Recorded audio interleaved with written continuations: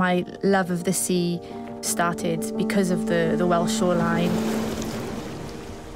Going sailing with my dad from about three years old. Dad teaching me about the wind and the right tides and everything.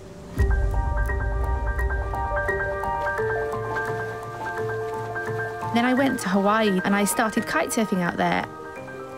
When I went back to Wales, going out in the sea at Newgale for the first time, and it was just this mixture of just excitement and the changing wind, the swell getting bigger, just an incredible feeling.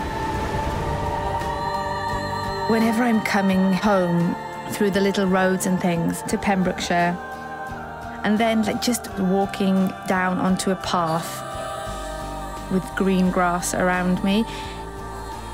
It's like an, an incredible sensation.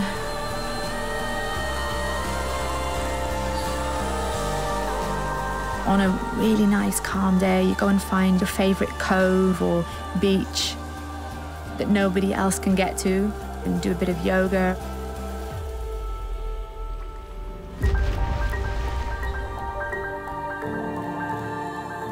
I think when you go away from Wales, coming back is just wow.